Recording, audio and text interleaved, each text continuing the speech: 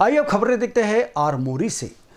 शस्त्रागार, आरमोरी शहर में विभिन्न स्थानों पर भूमिगत नालियों का निर्माण कार्य चल रहा है। कई कार्य पूर्ण रूप से किया जाता है तो कई आंशिक रूप में कार्य किया जा रहा है। कुछ नालों पर फर्श बिछा दिया गया है और कुछ नाले खुले हैं, क्योंकि उनमें कोई मंजिल नहीं है। नाला खुला होने से कहीं कहीं दुर्घटनाएँ भी हो सकती है। उनमें से एक है डी 8 अप्रैल 2022 को दोपहर एक बजे शहर के पलोरा रोड पर भारत गैस कार्यालय के सामने नवनिर्मित नाले में एक गाय का बछड़ा गिरकर गंभीर रूप से नाले में फंस गया। जब राहुल जी ने जुआरे को सुझाव दिया तो बिना किसी देरी के युवरंग सदस्यों को तुरंत मौके पर बुलाया गया और गाय का बछड़ा भाग गया था, रस्सी की मदद से छोड़ दिया गया। गोपाल नारायण, प्रफुल्ल मोगरे और नागरिक और वार्ड के नागरिक बड़ी संख्या में मौजूद थे। बीसीएन न्यूज़ के लिए आरमोरी से हरेंद्र मडावी की रिपोर्ट।